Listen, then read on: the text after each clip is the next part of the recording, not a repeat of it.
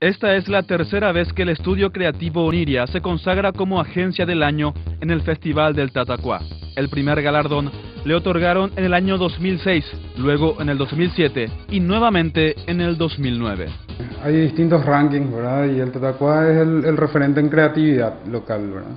Eh, y significa eso, reconocimiento a todo, todo el esfuerzo que le pusimos durante todo el año. La performance que tuvo la agencia a lo largo del año con distintos clientes y, y cómo no, estamos contentos.